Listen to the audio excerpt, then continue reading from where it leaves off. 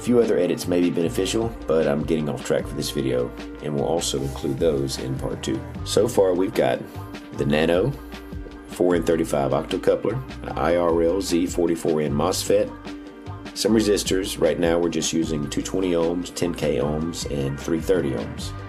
We have jumpers, LED, breadboard, USB cable for uploading the code.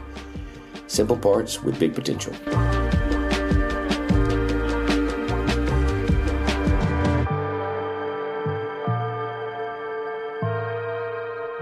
This stage proves our pulse path works. The nano, the optocoupler, and the MOSFET are all talking. The heartbeat of the VIC is alive. In the next phase, we'll add coils, resonance, and voltage intensification.